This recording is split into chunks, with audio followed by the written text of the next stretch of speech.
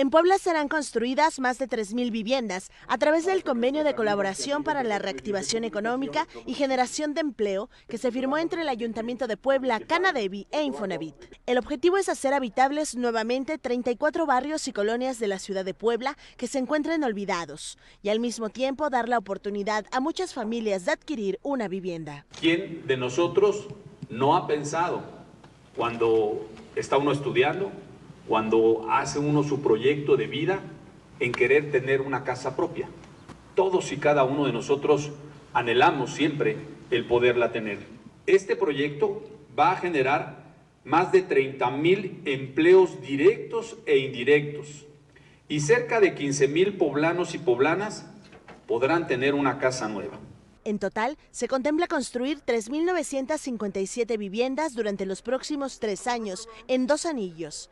En el primero, se construirán mil casas cuyo valor máximo será de 1.986.000 pesos. En el segundo anillo, serán las 2.957 viviendas restantes, que costarán entre 526.527 pesos hasta 877.527 pesos pues logra objetivos transversales al impulsar y propiciar la inversión desde su arranque por una cantidad de 4 mil millones de pesos en números redondos para la construcción de 4 mil viviendas. A través de este convenio, el Ayuntamiento de Puebla se comprometió a otorgar facilidades para la construcción de estas viviendas, como tasa cero en el impuesto sobre la adquisición de bienes inmuebles, descuentos de hasta el 100% en el pago de derechos para la construcción en el centro histórico, igualar los costos de los derechos de vivienda vertical y horizontal, así como facilitar la obtención de licencias de construcción de vivienda, todo en coordinación con el gobierno del Estado. El gobierno de Puebla apuesta por el desarrollo desarrollo económico de las 22 regiones del Estado,